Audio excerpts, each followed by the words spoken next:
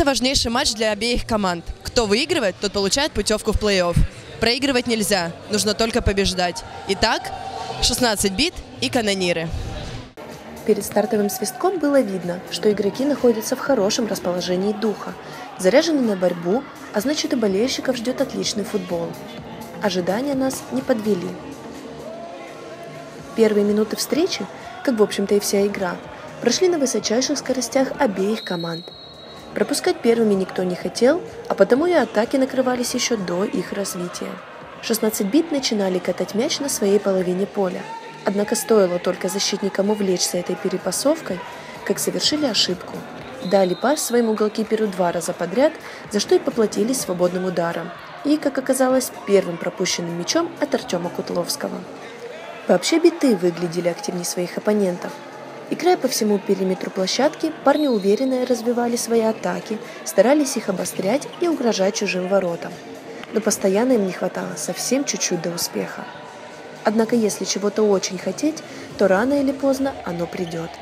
Воспользовавшись ошибкой защитников канониров, Эльдар Абдулаев распечатал ворота соперника, тем самым сравняв счет за минуту до конца первой половины встречи. На перерыв команды ушли в балансе.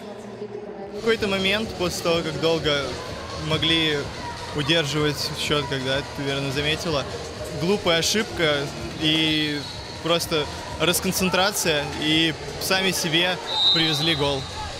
Второй тайм был еще богаче на события. Видимо, команды почувствовали, что время играет против них и пора начинать бороться и реализовывать свои моменты.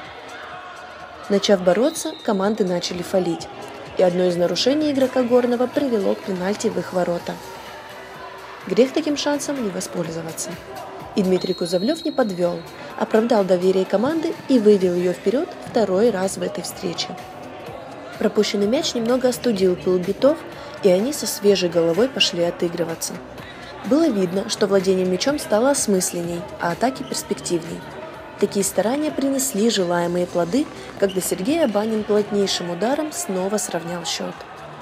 Спустя 4 минуты все тот же Абанин в третий раз доставил мяч в сетку чужих ворот – а дальше, как будто доказывая сопернику, что их не стоит недооценивать, Эльдар Абдулаев увеличил разницу в счете. Знаю, что забьем, потому что, не знаю, почему-то соперники переехали без вратаря сегодня. Поэтому надо было бить как можно больше. Ну и в итоге эта тактика сработала, забили 4 гола и победили. Это была такая своеобразная жирная точка в матче. Даже спорные пенальти ворота битов на последней минуте уже не особо огорчили самих горняков. Да, Данил Гренадерский реализовал момент, но на больше у них не хватило времени. Прозвучал финальный свисток. Итог. Горняки проходят в плей-офф, а универсантам стоит успокаивать себя только лишь стопроцентной реализацией стандартов.